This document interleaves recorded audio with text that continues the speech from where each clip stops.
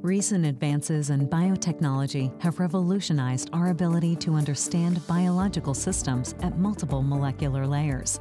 This opens powerful ways of studying the underlying mechanisms behind health and disease. This master's program gives you the knowledge and skills needed to translate large scale biological data into new knowledge.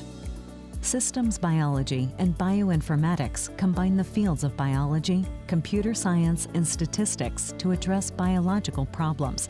During your studies, you will learn state of the art tools and techniques to tackle data analyses challenges in modern biomedical and molecular biological research. There is a growing need for experts who can analyze large scale biological data and develop new tools and methods for such analyses. This and more you will learn in this master's program.